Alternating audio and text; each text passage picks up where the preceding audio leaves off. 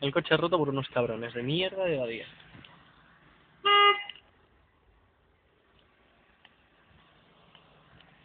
No hay luna trasera y la luna delantera está petada.